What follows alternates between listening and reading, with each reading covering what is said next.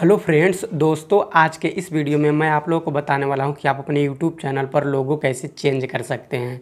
जी हाँ, दोस्तों, आज के इस वीडियो में मैं आप लोगों को बताऊँगा कि आप अपने यूट्यूब चैनल पर लोगो कैसे चेंज कर सकते हैं और यदि आप अपना नया यूट्यूब चैनल बनाए हैं और उस पर लोगो नहीं अभी तक लगाए हैं मतलब कि जब हम लोग यूट्यूब चैनल नया बनाते हैं तो उस पर लोगो नहीं लगा रहता है। जैसे मेरे चैनल का नाम है रिंसल टेक तो मैं जब चैनल बनाया था तो उस पर लोगो नहीं लगा था।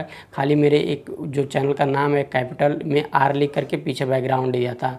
मतलब कि लोगो नहीं लगा था तो लोगो हमको हमको अपने आप से लगाना पड़ता है। तो यदि आप अभी तक नया चैनल बनाए हैं और आपने लोगो नहीं लगाया है तो आपको कैसे लोगो लगाना है? और यदि आपने लोगो लगा दिया है तो कैसे आपको लोगों को चेंज करना है? आज के इस वीडियो में मैं आपको इसी के बारे में बताने वाला हूँ। तो दोस्तों आप इस वीडियो पर बने रहें और दोस्तों अभी तक आपने हमारा चैनल सब्सक्राइब नहीं किया तो चैनल को सब्सक्राइब करके बेलाइकन को प्रेस कर लीजिए और वीडियो को लाइक कर दीजिए।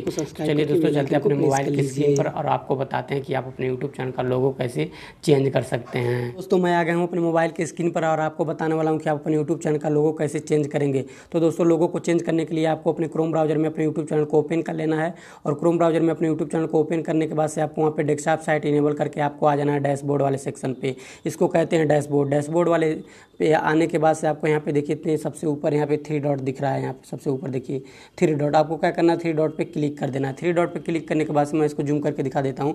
उसके बाद से आपको देखिए इसमें से एक ऑप्शन मिल रहा है कस्टमाइजेशन का, जो सबसे अंतिम वाला है, उससे एक ठो ऊपर कस्टमाइजेशन का। कस्टमाइजेशन वाले ऑप्शन पे यहाँ पे देखिए कस्टमाइजेशन वाले ऑप्शन पे आपको क्या करना है? क्लिक कर देना है।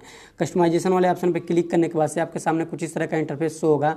तो यहाँ पे सबसे ऊपर देखिए लिख रहा है चैनल कस्टमाइजेशन यहाँ पे सबसे ऊपर चैनल कस्टमाइजेशन उसके नीचे देखिए यहाँ पे लिख रहा है लेआउट ब्रांडिंग और बेसिक इन्फो तो आपको ब्रांडिंग वाले ऑप्शन पे, दूसरे ऑप्शन पे क्लिक कर देना। ब्रांडिंग वाले ऑप्शन पे क्लिक करने के बाद से आपको यहाँ पे देखिए आपका जो भी आपका लोगो लगा रहेगा या नहीं भी लगा रहेगा तो कुछ ना कुछ यहाँ पे आपका जो लोगो रहेगा, वहाँ लोगो यहाँ पे दिया रहेगा, ठीक है? तो आपको यहाँ पे देखिए बगल में यहाँ पे दे रहा है चेंज यहाँ पे देखिए आपको दे रहा है, यहाँ पे लिख रहा है चेंज तो चेंज वाले ऑप्शन पे आपको क्या करना है? क्लिक कर देना है। चेंज वाले ऑप्शन पे क्लिक करने के बाद से आपको कुछ इस तरह से खुलेगा, उसके बाद से आप अपना लोगो जहाँ पे रखे हैं, वहाँ पे आपको चले जाना है। तो जैसे मेरा लोगो यहाँ पे है तो मैं इस पर क्लिक कर देता हूँ और क्लिक करने के बाद से मैं यहाँ पे डन पे क्लिक कर देता हूँ।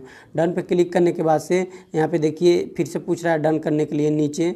नीचे यहाँ पे देखिए, फिर से डन करने के लिए कह रहा है तो आपको यहाँ से फिर से डन पे क्लिक कर देना है। तो जैसे ही डन पे आप क्लिक करेंगे और उसके बाद से आपको देखिए यहाँ पे सबसे ऊपर पब्लिश का ऑप्शन दे रहा है। यहाँ पे देखिए पब्लिश। आपको पब्लिश वाले ऑप्शन पे क्लिक कर देना है। उसके बाद से आपका लोगो चेंज हो गया। इसी तरह से आप चैनल पे लोगो भी लगा सकते हैं। अगर आपने लोगो नहीं लगाया है, नया यूट्यूब चैनल बनाया है तो तो